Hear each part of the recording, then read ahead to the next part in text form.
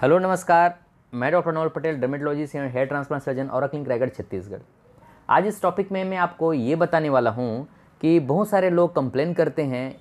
Usually ये topic उनके लिए है, यंगस्टर मेल पर्सन, लड़कों के लिए। और ये टॉपिक सुनने से पहले आप चैनल को सब्सक्राइब करें, बेल आइकन को ज़रूर प्रेस करें, जिससे नई जानकारी आपको रेगुलर मिले।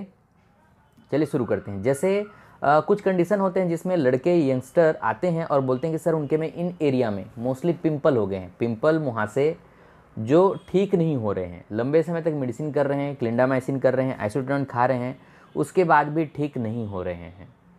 तो एक पॉइंट आपको याद रखने वाली बात यह है कि कोई भी टाइप का पिंपल अगर आपको कोई डॉक्टर सलाह दे रहा है ठीक नहीं हो रहा है। पहला चीज़ होता है कि वो ठीक नहीं हो रहा है दूसरा चीज़ होता है कि ठीक होने के बाद वापस हो जा रहा है। हार्मोनल कंडीशन में वापस हो सकता है। लेकिन बहुत सारे ये बोलते हैं कि सर हमने पाँच छः महीने दिखाया। मैं अभी इन एक महीने में ही मैंने पंद्रह से बीस ऐसे केस देखे हैं जिनको हमारे ही कलीग, दोस्त, यार लोगों ने हम कई बार उसको पिंपल सोच करके ट्रीटमेंट देने की कोशिश करते हैं। बाद में जब अच्छे से हम स्किन का एनालाइज़र मशीन से उसको जूम करके देखते हैं तो पता चलता है कि बेसिकली वो पिंपल नहीं है।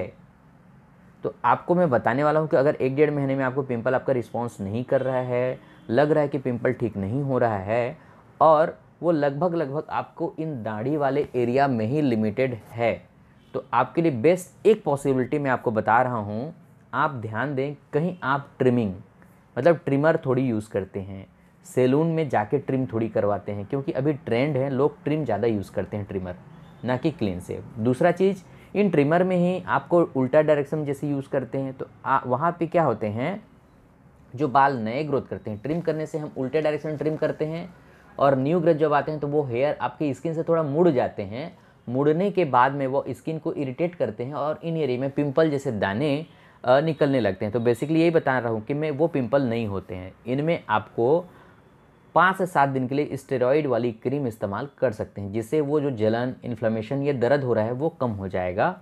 और बेसिकली वो हेयर को आपको सीधा डायरेक्शन में करने के लिए स्किन स्पेशलिस्ट को कंसल्ट करना चाहिए।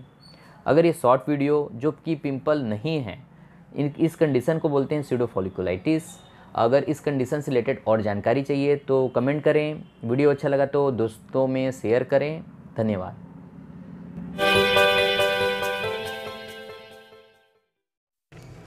हमारे YouTube चैनल को सब्सक्राइब करें और लेटेस्ट वीडियो देखने के लिए बेल आइकन को हिट करें।